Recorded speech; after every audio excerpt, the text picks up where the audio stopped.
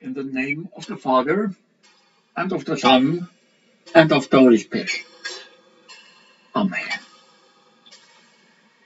Let us all rejoice in the Lord as we celebrate the feast day in honor of all the saints, at whose festival the angels rejoice and praise the Son of God. Brothers and sisters in Christ, the traditional All Saints Day is the 1st of November, but in some countries All Saints is celebrated on a Saturday or Sunday, close to the 1st of November. In Finland, All Saints was celebrated uh, this year, yesterday, Saturday, the 2nd of November. The psalm of the day is Psalm 24. The earth is the Lord's, and everything in it, the world and all who live in it. For he founded it upon the seas, and it established it upon the waters. Who may ascend the hill of the Lord? Who may stand in his holy place? He who has clean hands and a pure heart, who does not lift up his soul to an idol, or swear by what is false. He will receive blessing from the Lord, and vindication from God his Saviour. Such is the generation of those who seek him, who seek your face, O God of Jacob. Glory to the Father, and to the Son, and to the Holy Spirit, as it was in the beginning, is now, and shall be forever. Amen. Let us pray. Almighty God, you have knit your people together in one communion in the mystical body of your Son, Jesus Christ our Lord. Grant us grace to follow your blessed saints in lives of faith and commitment, and to know the inexpressible joys you have prepared for those who love you. Through Jesus Christ, our Savior and Lord, who lives and reigns with you and the Holy Spirit, one God, now and forever. Amen. The Gospel today is from St. Matthew chapter 5. Now, when Jesus saw the crowds, he went up on a mountainside and sat down. His disciples came to him, and he began to teach them, saying, Blessed are the poor in spirit, for theirs is the kingdom of heaven. Blessed are those who mourn, for they will be comforted. Blessed are the meek, for they will inherit the earth. Blessed are those who hunger and thirst for righteousness, for they will be filled. Blessed are the merciful, for they will be shown mercy. Blessed are the poor in heart, for they will see God.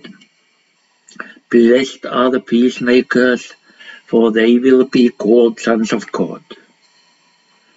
Blessed are those who are persecuted because of righteousness, for theirs is the kingdom of heaven. Blessed are you when people insult you, persecute you, and falsely say all kinds of evil against you because of me.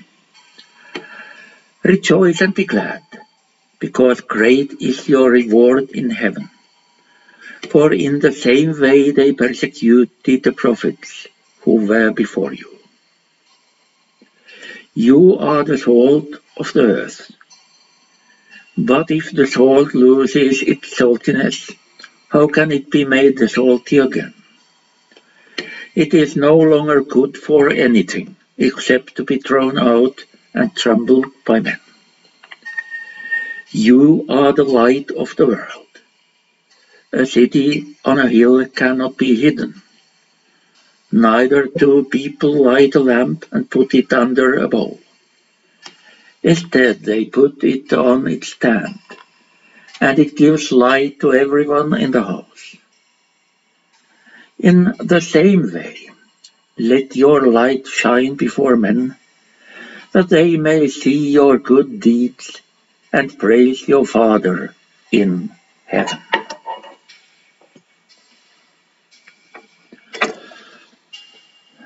Brothers and sisters in Christ, the day of all saints, that is in our thoughts today. Saints, we know what it means. Through the history of the Church, there has been and still is men and women who have been considered to be especially holy. Some of them have in the calendar a special day, a day of their own, so to speak. And then the 1st of November is a day for all of them, saints, the holy persons. In their lives, they have in some very special ways shown that they are followers of Christ.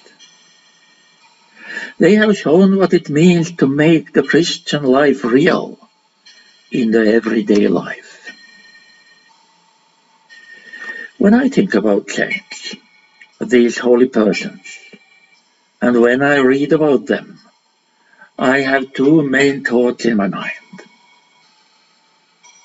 Very briefly, they are first. Those persons, saints, they are an example for me. I am not saying that I could become a saint, but they give also for me an idea how to practice the Christian life, life as a disciple of Christ. And number two, their lives testify about the faithfulness of God and the Savior. They have put their trust in God, and God has been faithful in taking care of them. In the same way, I can trust in the faithfulness of God. He takes care of me. Now let us pray. Blessed are you, gracious God, creator of heaven and earth. In the multitude of your saints, you have surrounded us with so great a cloud of witnesses, that we, rejoicing in their fellowship, may run with patience the race that is set before us, and together with them receive the crown of glory that never fades away. Therefore with angels and archangels, and with all who have served you in every age, we raise our voices to proclaim the glory of your name. Dear God, thank you for the example of the saints. I desire to join in their company worshipping you forever in heaven. Please help me follow their footsteps and yours, Jesus Christ. Please help me to conform myself to your image, seeking your will in all things, as the saints did. Please help me to devote myself and all that I do to your glory and to the service of my neighbors. Father of all, we pray to you for those we love, but see no longer. Grant them your peace. Let light perpetual shine upon them. and in your loving wisdom and almighty power, work in them the good purpose of your perfect will. So we pray through Jesus Christ our Lord, who lives and reigns with you and the Holy Spirit, one God, now and forever. Amen. Our Father in heaven, hallowed be your name. Your kingdom come. Your will be done on earth as in heaven. Give us today our daily bread. Forgive us our sins as we forgive those who sin against us. Lead us not into temptation, but deliver us from evil. For the kingdom, the power, and the glory are yours, now and forever. Amen.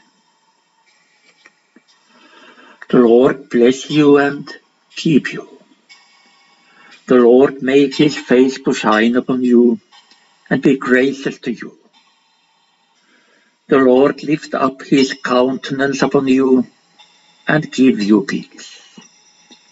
In the name of the Father, and of the Son, and of the Holy Spirit.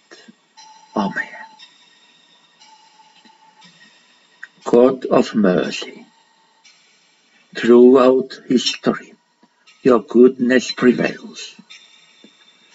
Open the hearts of all people to find you and your mercy that endures forever.